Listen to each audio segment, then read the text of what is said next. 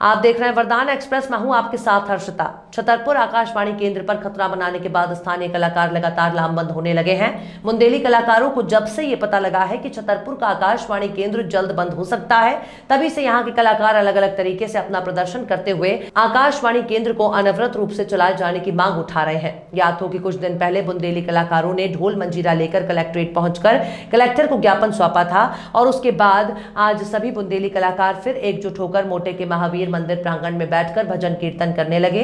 बुंदेली कलाकारों के प्रदर्शन का तरीका बिल्कुल अनोखा है।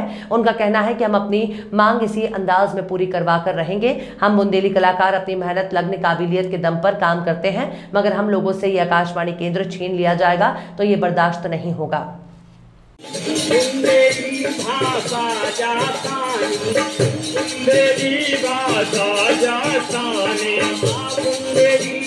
भाषा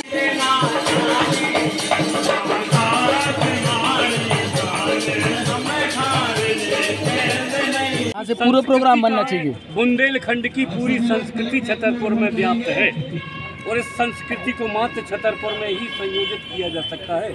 इसलिए कृपया करके निवेदन है हम आप सभी लोगों से कि हमारी संस्कृति क्योंकि संस्कृति ही पहचान है बुंदेलखंड जो हमारा पूरा है तो बुंदेली पर आधारित है और बुंदेली सिर्फ़ छतरपुर में है। छतरपुर से पूरा विदेश तक जा रही है। हमारी बुंदेली। पूरी तो उसको बचाने के लिए हम चाहते हैं कि हमारी इस संस्कृति को बचाने के लिए हमारा ये आकाशवाणी है। इसको जैसा था वैसा ही चलने में स्वरूप उसका वही रहे। इसमें कोई परिवर्तन करने की कोशिश ना करें। यही हम लोगों का आपको संदेश है। बस यही हम लोग कहना चाहते कलाकार। बाबूलाल किन किन मांगों को लेकर आज आप लोगों ने ज्ञापन सौंपा? जो हम कलाकारों के साथ उठाना था हम कलाकारों की पहचान आकाशवाणी से हुई और हम चाहते हैं कि आकाशवाणी को यथावत रहने नहीं तो अभी तो हम बहुत कम संख्या में यहाँ उपस्थित हुए हैं।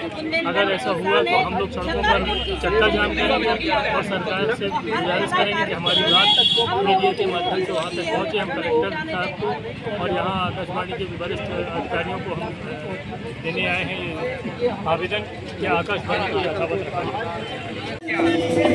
हमारी है हमारी आकाशवाणी को हटाया